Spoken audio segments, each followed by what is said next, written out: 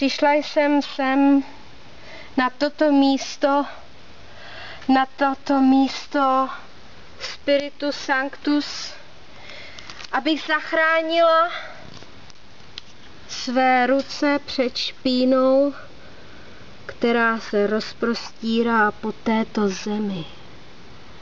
Lidé, prosíme všechny, aby zachránili nás. Nás, kteří chtějí bojovat o mír, kteří se modlí k Bohu, kteří se modlí k zemi, aby přežila tohle století. Tohle století, ve kterém jsme pošpiněni vším, co jsme udělali na téhle planetě. Jsme pošpiněni, protože jsme zničili tenhle náš kosmos, tuhle zemi,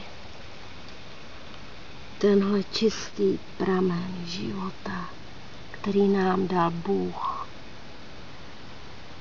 A my andělé se vznášíme k měsíci chceme zachránit, co ještě zachránit se. A prosíme